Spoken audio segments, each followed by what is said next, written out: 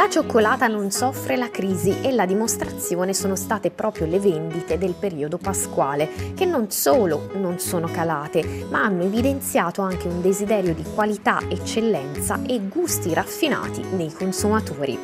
Non ci si rinuncia e anzi, se possibile, magari si cerca anche di una qualità superiore, visto che il cioccolato, come anche il caffè, eh, è un mercato molto ampio e non è così sempre semplice trovare della buona qualità.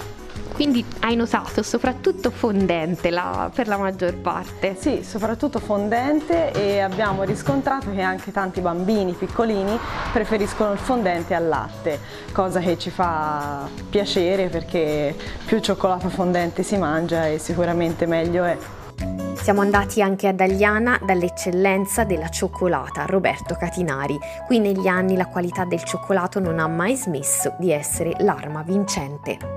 Ho notato che inizialmente dopo un po' di titubanza, le varie paure, venivamo l'anno scorso, zona rosse appunto, avevamo, eh, e invece poi è stato un assalto all'uovo e, e, neanche all'uovo base, l'uovo ciuffo, quelle più tradizionali, ma anche richieste da più golosi, diciamo, con ricco di nocciole, addirittura abbiamo avuto una crescita esponenziale della richiesta del pistacchio. Successo l'incredibile perché nonostante zona rossa, situazione un po' particolare prima di questo periodo, le persone sono venute, abbiamo ricevuto clienti, anche molti ordini tramite delivery, quindi siamo rimasti più che soddisfatti, contenti, addirittura che hanno sempre scelto l'arte di Roberto Catinari e l'altissima qualità.